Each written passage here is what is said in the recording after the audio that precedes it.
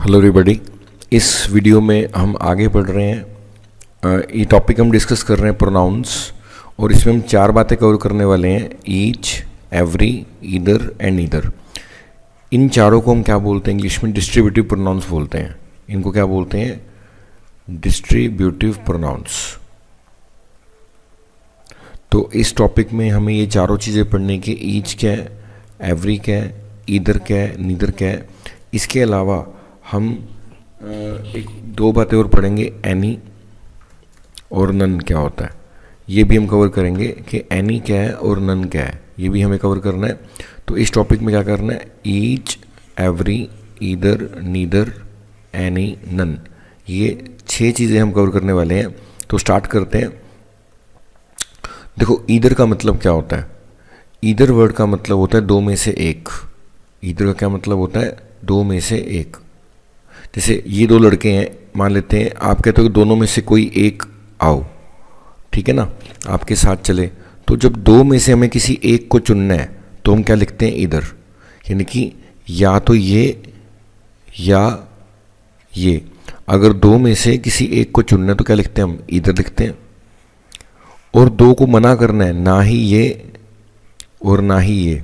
तो हम क्या लिखते हैं? नीदर। तो ईदर का मतलब क्या होता है? दो में से एक को चुनने के लिए होता है इधर, और दो को मना करने के लिए होता है नीदर, और एनी किस लिए होता है? दो से ज़्यादा में से किसी एक को चुनना है। मान लेते हैं, दो से ज़्यादा है, और आपको इनमें से किसी एक को चुनना है, किसी एक को चुनना है तो आप कैसे चुनोगे? एनी। ऐसी दो से ज़्यादा को आपने मना करना है तो क्या होता है? नन। दो से ज़्यादा को आपने मना करना है तो आप क्या बोलोगे? नन। तो दोबारा समझते हैं कॉन्सेप्ट है? ईदर का मतलब होता है दो में से किसी एक को चुनना,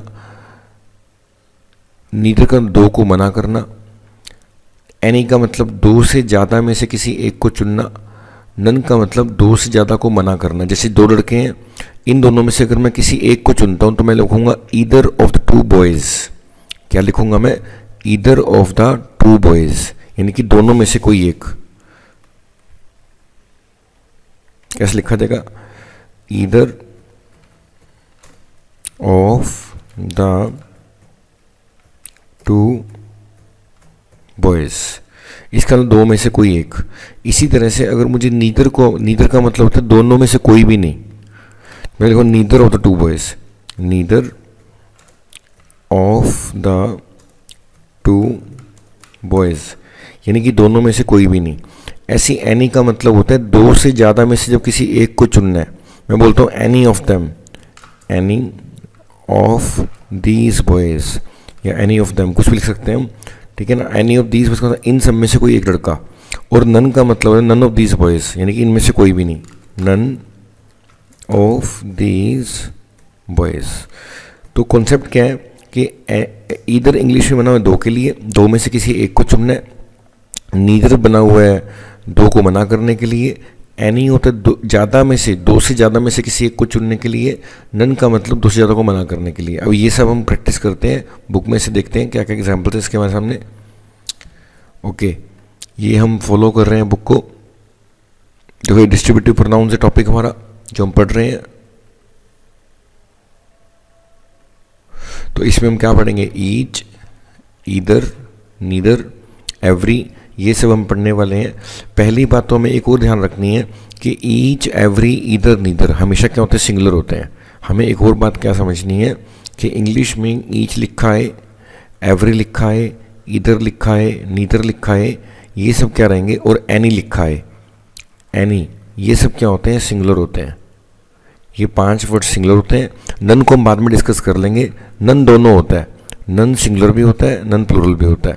दोबारा समझते हैं क्या बोला है? अपन ये डिस्कशन कर रहे हैं कि इंग्लिश लैंग्वेज में ये सारे के सारे words each every either neither या एनी ये सब के सब का नेचर क्या होता है? सिंगुलर होता है। और जो नन होता है ना, नन का नेचर दोनों होता है। सिंगुलर भी होता है प्लूरल भी होता है। एग्जाम्पल्स देखते हैं, समझ आ जाएगा एग्ज़ाम्पल से। देखो, यहाँ पे लिखा है ईच ऑफ़ द बॉयज़ अब ईच किसके लिए? अच्छा अभी हम पहले इधर पढ़ रहे हैं। ईच हमने पढ़ा नहीं है अभी। Either of us. अब either of us can do it यानी कि हम दोनों में से कोई एक कर सकते हैं, इसका ये मतलब है। क्योंकि इधर दो के लिए बना हुआ है। ऐसी नीदर ऑफ़ द गर्ल्स, यानी कि दोनों लड़कियों में से कोई भी लड़की नहीं। तो जब नीदर का मतलब दो के लिए है इधर का मतलब दो के लिए है। अब थोड़ा सा और एक स्टेप आगे चलते हैं, जो हमें आगे पढ़ना है, कि हमें नेक्स्ट क्या पॉइंट क्या पढ़ना है, कि ईच क्या होता है और एवरी क्या होता है। ईच का मतलब होता है हर एक। हर एक को क्या बोलते हैं? ईच। ईच इंग्लिश में दो के लिए भी है तो उससे ज़्यादा के लिए भी है। जैसे दो लड़के हैं, मैं बोलता हूँ कि ये दोनों के दोनों, ये भी और ये भी। ठीक है ना? मान लो इसका नाम है ए इसका नाम है बी तो मैं बोलूँगा ए भी और बी भी। तो मैं क्या बोलूँगा? ईच ऑफ़ देम ऐसे ही बोलता हूँ, एक, दो, तीन, चार, पाँच लड़के हैं यहाँ पे। मैं ये सब के सब, ये भी ये भी ये भी ये भी ये भी। तो मैं इसको कैसे बोलूँगा? ईच ईच ऑफ़ देम तो हमें क्या समझना है? ईच किस लिए होता है इंग्लिश में? दो लोगों के लिए भी लिखा जाता है, दो से ज़्यादा के लिए भी लिखा जाता है। ईच किस लिखा जाता है? दो के लिए भी है, दो से ज़्यादा के लिए क्या लिखूँगा each of the two boys each of the two boys क्या मतलब है? दोनों के दोनों लड़के। तो दोनों को बात हो रही है।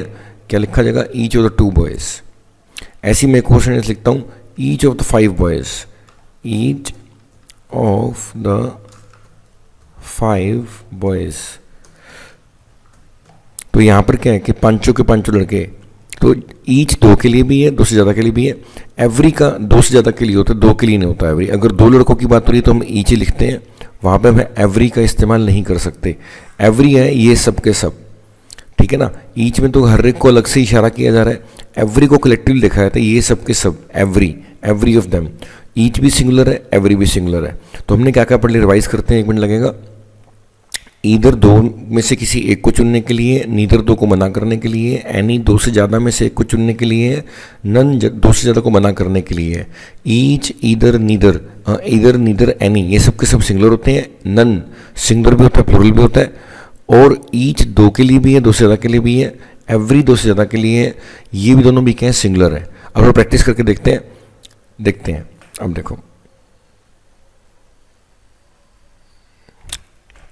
देखो, यहाँ पर देखते हैं neither of the five students is laborious ये सेंटेंस गलत लिखा हुआ है। कारण क्या है? क्योंकि नीदर दो लोगों के लिए है पाँच के लिए लिखा नहीं सकते, इसलिए सेंटेंस गलत है। लेकिन ज़्यादा के लिए नन होता है इसलिए सही है। Neither of these two girls is active तो दो हैं तो दो के लिए नीदर लिखा जाएगा नन नहीं लिखा जाएगा। नन लिखा जाता है दो से ज़्यादा के लिए और नीदर लिखा जाता है दो के लिए। तो इसलिए ये वाला सेंटेंस सही है और ये वाला सेंटेंस गलत है। ओके? एक स्टेप और ऊपर चलते हैं हम। देखो, यहाँ पे क्या लिखा है? Either of these two pens दो पेन्स की बात हो रही है और दो के लिए इधर लिखा जा रहा है तो ये सही सेंटेंस है। क्योंकि इधर दो के लिए है। इधर दीज थ्री पेन्स थ्री के लिए इधर का लगाना गलत। तो ये गलत सेंटेंस है। और ये हमने पढ़ लिया कि जैसे यहाँ पे लिखा है इधर ऑफ़ दीज थ्री गर्ल्स तो ये थ्री गर्ल्स हैं, इनके लिए इधर का लगाना गलत है। तो एनी एनी एनी वन यानी कि एनी दो से ज़्यादा के लिए ज़्यादा के लिखा जाता है अगर ज़्यादा में से किसी एक की बात करनी है तो आप एनी लिखते हो। तो ये करेक्ट सेंटेंस है। तो अगर यहाँ पे फोर बुक्स की बात हो रही है, लेकिन यहाँ पर ईदर लगा दिया हमने तो ये सेंटेंस गलत हो गया। ठीक है ना? तो ये हमने पॉइंट पढ़ लिया कि ईदर का क्या मतलब है नीदर का क्या मतलब है, ये सब हमने पढ़ लिया। अब एक स्टेप और आगे चल के देखते हैं क्या आ, क्या क्या यहाँ पे निकल रहा है। ऐसे देखो बोथ वर्ड किसके लिए इंग्लिश में? बोथ वर्ड दो के लिए होता है। Both of the student two students दो के लिए ऑल का इस्तेमाल नहीं किया जाता। अगर आप दो की बात कर रहे हो तो बोथ लिखोगे। दो से ज़्यादा की बात कर रहे हो तो ऑल लिखोगे।